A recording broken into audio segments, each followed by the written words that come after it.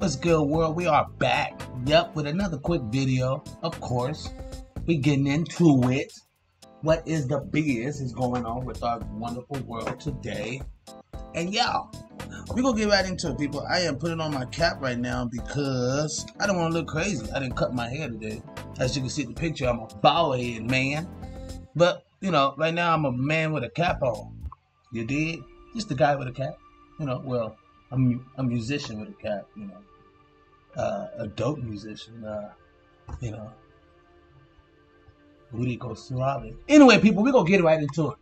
The horrible truth about our Disney. You know, being a young teen, being a young, well, not teen. I was just, yeah, I was, I was kind of a preteen. I was 12 years old when I began in the music industry, and I started performing live and doing all the wonderful things in our wonderful industry and entertainment that we love.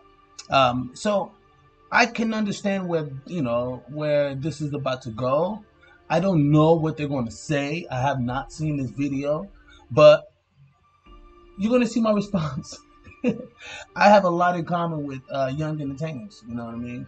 Um, I came from those shoes. I'm still in those shoes. So yeah, we're gonna see the raw truth. What happened to it? You did.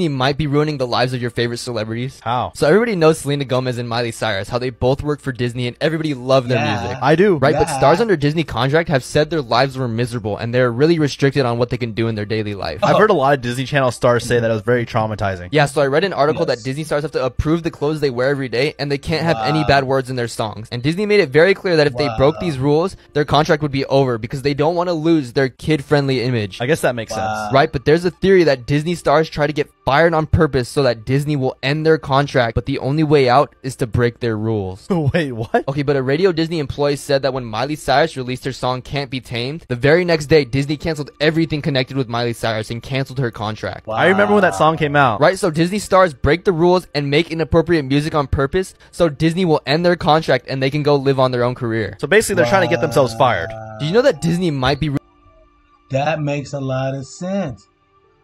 You know, it makes a lot of sense. Um, to get out of a contract, I got to get drunk and and all intoxicated and stuff just to pull from a TV show that's for kids.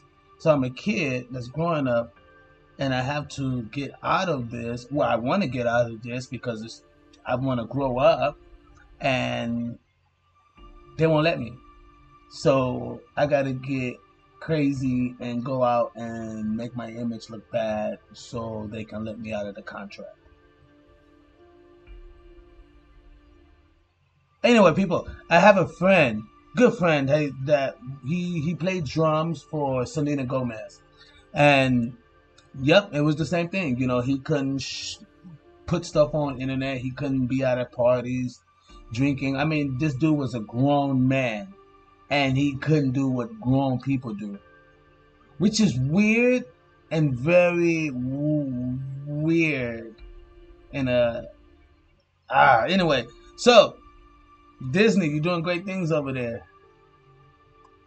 Uh, I think so. Uh, but I love because they don't want to lose their kid-friendly image. I guess that they don't want to lose the kid friendly image. So I, I I don't want Disney to lose your kid friendly image. Uh, I like Disneyland. I think it's a wonderful place. You know.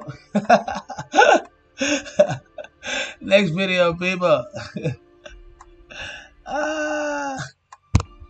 I remember when that song came out. Right, so Have you heard of the iCarly theory? No. What if I told you that iCarly and Drake and Josh are in the same universe? wait, how would that even work? So in Drake and Josh, there's a movie called Ik Glockma. And then in iCarly, there's the same movie, Ik Glockma. Also in Drake and Josh, there's a shoe company called Daka Shoes. And in the show, they're watching a Daka shoe commercial. And then in iCarly, Daka Shoes is trying to hire Carly to advertise their shoes. Wow. And do you know how Miranda Cosgrove was in Drake and Josh and also in iCarly? Guess who else was in Drake and Josh and in iCarly? Wow. Spencer. Yeah, so Spencer from iCarly also played He's- Crazy Steve he in Drake and. Josh. There's a theory that Crazy Wow. Steve actually killed Drake and Josh's family, but kept Megan and Drake alive. So Crazy What? Steve brainwashes Drake and Megan because he wants Megan to become his sister, and he kept Drake alive because he knew that he was the dumb one. And what he does is he has Megan change her name to Carly Shay and moves her to Seattle, leaving Drake in San Diego. That just got really dark. And then in iCarly, Drake actually comes back and he goes, Megan, where's Josh? And where's mom and dad? Because he's starting to remember his past, but he can't remember where everybody went. that just Wow. completely ruined my childhood. Have you heard of the iCarly? Dude, that is some dark stuff there.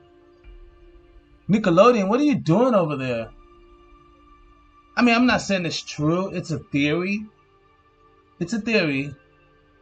But, uh, old dude was pretty crazy. Like, he was like the wackiest one. I thought he was doing this on purpose. But it kind of makes sense as a character. He will have some type of mental illness or something that's really going on or some tragic happened. I'm not trying to take this dark. This is not be dark. Wow. Nickelodeon. Yikes. And that is our episode for today, people. I am going to get up out of here. Yes, you keep subscribing. I'll keep posting these videos. That's the whole goal of this the videos.